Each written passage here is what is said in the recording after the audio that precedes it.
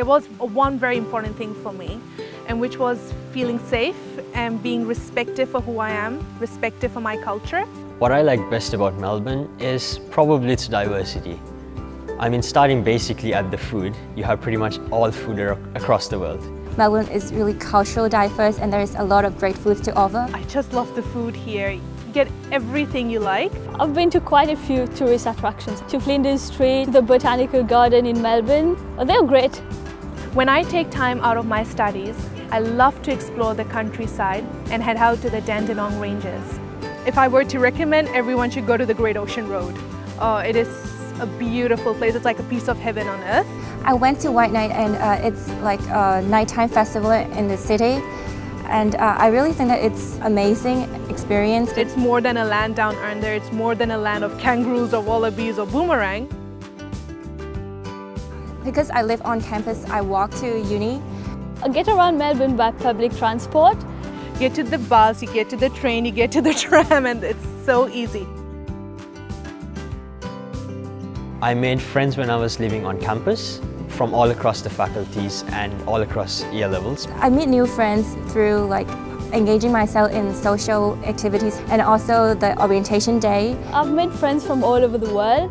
Just talk to them on, at university and you'll make great friends. My favorite things to do with my friends are to go for a jog in the evening, play badminton during the weekends and go to the city, could be on a Sunday afternoon.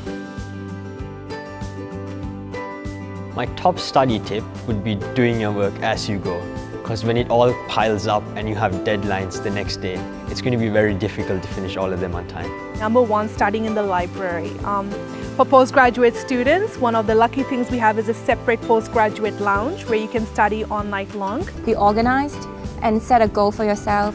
The best thing is that when you study late into the night, they offer you a security bus that can drop you off at your home. Organize what you have to do today and then the rest of the time you can go play and do whatever you want. So it's like a, a bit of fun and a bit of work. Before my grocery shopping that I do weekly, I first check my bank statements and then I set out a limit for myself that okay, probably today I'm going to do a grocery shopping for the next one or two weeks in around 70 to 80 dollars. Keep a record, like if you feel like that week you have spent too much, uh, maybe when, when you check your wallet that it's like only $10 left, then you can go back and see what have you spent most on. Living in a new country has helped me become more independent. One day in the future, I aim to positively impact others and give back to the community that I have received so much from.